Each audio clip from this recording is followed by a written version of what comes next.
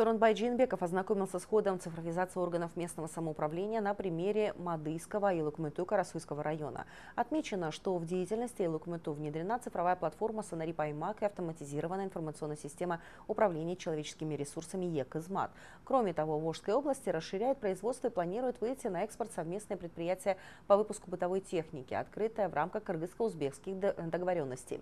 Кыргызско-узбекское совместное предприятие «Артель Электроникс» планирует выйти на. На сегодняшний день трудоустроено 105 человек. Планируется довести количество рабочих мест до 200. Мадина Низамова продолжит тему. В рамках цифровизации до конца этого года 453 АИЛОК МУТУ страны должны подключиться к автоматизированной информационной системе Сонари Паймак. Эта платформа обеспечит эффективность работы аильных аймаков при оказании государственных и муниципальных услуг населению. Сонари Паймак, электронный хизмат – Вместе с Анари Паймак мы внедряем в работу ИЛКМТУ три информационные системы. Это электронный документооборот и программа ЕКИЗМАТ. В рамках первого этапа Санари Паймак начал работу в 250 ИЛКМТУ. До конца года охватим цифровизации все сельские управы. Необходимое для этого техническое обеспечение имеется. азыркы учурда 250 айыл өкмөткө бул тутумдар кирди Мадейский Айлок Моту в Карасуйском районе одним из первых внедрил цифровые платформы Санари Паймак и Екизмат. Сейчас в сельской управе обмен информацией ведется электронно. Госуслуги гражданам предоставляются в формате единого окна. Был автоматизирован процесс аренды сельскохозяйственных земель.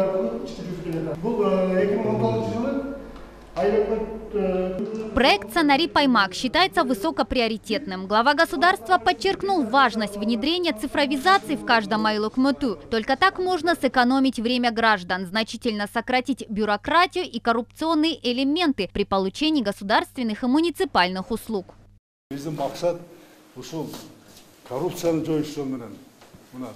салдык талмажы баардыгын кылабыз жоебуз кудай кааласа жасайбыз анын баардыгын бизде мына саясий ерік бар қаражат бар бардығы бар. Ошон үчүн мына жер ачык болуш керек. Келешек ушул жерден жерин алыш керек. Глава государства напомнил что руководство каждого айлокмоту несет ответственность за внедрение цифровизации на местах. Напомним что государственная политика цифровой трансформации реализуется во всех регионах страны под личным контролем сооронбая жээнбекова мада айылында болуп бүгүнкү күндө үч төрт маалымат в үкмөтү мады работают программы Санари Паймак, Екизмат, электронный документооборот и онлайн-аукцион. Они взаимодействуют с системой Тундук. Благодаря этому для жителей сельской управы процесс получения различных справок упростился в разы. Сейчас мы работаем над внедрением бесплатной облачной цифровой подписи. Наши граждане смогут получать госуслуги, не выходя из дома.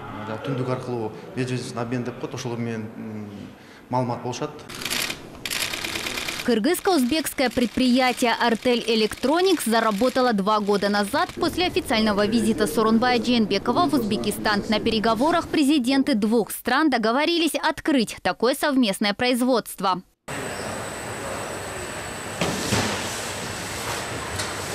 На сегодняшний день «Артель Электроникс» производит почти 900 стиральных машин в месяц. Объем продаж достиг 3 миллионов сомов. На заводе трудоустроено 105 человек.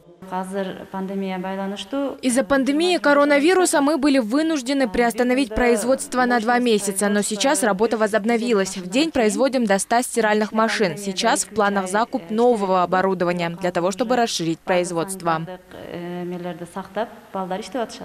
В 2022 году предприятие планирует начать производство газовых плит. Еще через год – телевизоров и холодильников. Сейчас свои товары завод реализует на внутреннем рынке, однако не за горами выход на экспорт, в том числе и в Узбекистан. Өзбекстан республикасынан Параллельно на предприятии выпускаются пластиковые окна и двери. Для его запуска были вложены инвестиции в размере 1 миллиона долларов США. Цех оснащен современным немецким оборудованием. Этот цех работает с 2018 года. Производится 24 тысячи квадратных метров продукции. Окна и двери высокого качества. Можно сказать, что в нашем регионе это один из крупных цехов с таким производством.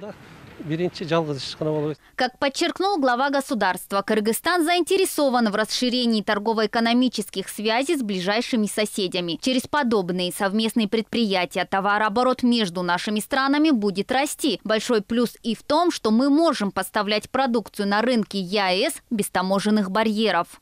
японияға барып 2001 жылы оқуға барғанмын оқуға барып 15 күндік ошол жерде бизди эки компания алып барды анан мен булардын бүшімді де жүлдетін де көрдім де әр компания істеген адам өзінің меншігінде көреді екен да ол компанияны мүшін дегенде ал жерде өз істеген атасы істеген бұл компания жақсы болса бұтына туса өндіріс салдыға шықса белгілі компания болса кейінкіге байлығым көбейеді менің балдарыма жұмыс орын болады деп алдар сондай істейді екен де белгі істейді екен ушул абдан чоң таасир берет да ошон үчүн мына жакшы башталып тур компания мына компания келечеги бар экен мына сүйлөшүп атам оюндары жакшы экен жакшы балдар бар экен ушундай өзүңөрдүн менчигиңдей мамиле кылсаңар кудай кааласа мына компания келечеги жакшы экен Сооронбай Дженбеков напомнил, что политика регионального развития поддерживает предприятия, имеющие экспортный потенциал. Основная доля льготного финансирования обращена как раз на поддержку предпринимательства на местах. бір эле бизде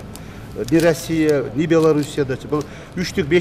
бештиги Так, два года назад Российско-Кыргызский фонд развития помог компании Medimpex закупить новое производственное оборудование на 200 тысяч долларов США. К сегодняшнему дню это предприятие стало крупным отечественным производителем одноразовых шприцов производства, посетил глава государства.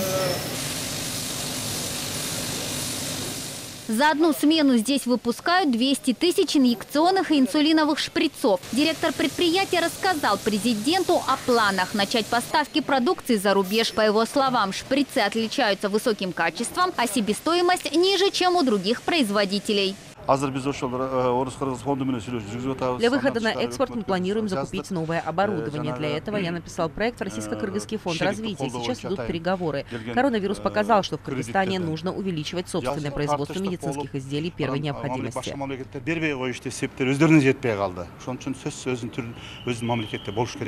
Как подчеркнул Сооронбай Дженбеков, пандемия коронавируса показала необходимость реформирования системы здравоохранения в целом. Глава государства рекомендовал Минздраву изучить вопрос о возможности закупа изделий Медимпекса для обеспечения ими больниц, таким образом поддержать отечественного производителя. Скоро в Карасуйском районе появится новая современная цифровая больница. Специально под нее выделили трехэтажное здание, где сейчас проводится капитальный ремонт. Уже отремонтирована крыша корпуса, завершена наладка системы отопления, ведутся отделочные работы. Новая инфекционная больница рассчитана на 150 койко-мест. Средства на реконструкцию здания выделили из государственного бюджета и Фонда социального партнерства по развитию регионов. После ремонта мы планируем подключить больницу к системе электронного здравоохранения. су күндері э, алып келініп қойылады барлығы Сооронбай Дженбеков положительно оценил качество работы по перепрофилированию больницы. Глава государства выразил уверенность, что цифровые технологии покончат с коррупцией и бюрократией, улучшат условия работы врачей, в том числе и в вопросе повышения заработной платы. Напомним, что сейчас во всех регионах страны усиленным темпом продолжается капитальная реконструкция медицинских учреждений, а в городах Бишкек, Ош и Нарын строятся новые инфекционные больницы. Другим приоритетным направлением политики регионального развития является сельскохозяйственная отрасль. В Карасуйском районе глава государства посетил кооператив «Оумат Агро», который выращивает различные овощные культуры, а также производит высококачественные семена хлопка и пшеницы. мамлекеттик фонд жыйырма бир гектар жерге дыйканчылык кылабыз Мы выращиваем овощные, бахчевые, корни и клубнеплодовые культуры. Все это мы поставляем фермерам Карасуйского района. Сейчас нашему семеноводческому кооперативу выделили 121 гектар орошаемых земель. А Илбанк предоставил нам льготный кредит на расширение нашей деятельности. чарба институту менен сүйлөшүүлөр негизинде алып келген Сооронбай Дженбеков отметил, что Карасуйский район имеет большой потенциал для выращивания хлопка. Сейчас наблюдается планомерное развитие легкой промышленности. Идет строительство новых текстильных фабрик в регионах, а значит необходимо увеличивать площади посева белого золота. айыл чарбасын өнүктүрүш биз